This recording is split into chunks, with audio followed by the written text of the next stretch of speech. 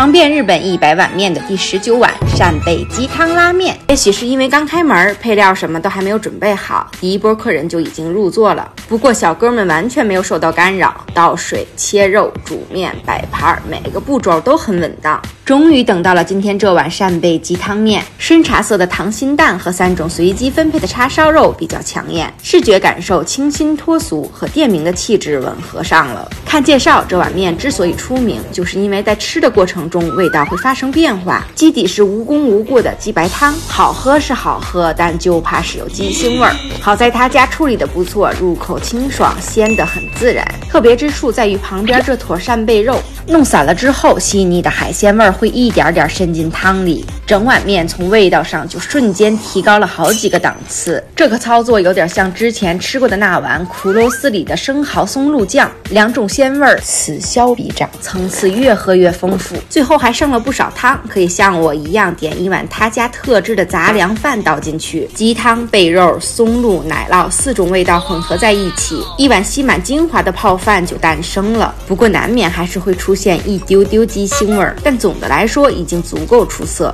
吃完，我发现隔壁桌点的挺花哨，一打听才知道他家还有每天限定盲盒一样的欧玛咖啡菜单，配的什么汤，加的什么料，都得等小哥端上桌以后才知道。拉面欧玛咖啡听着挺有意思的哈，等我下次来就点这个。关注我，一起吃遍日本美食。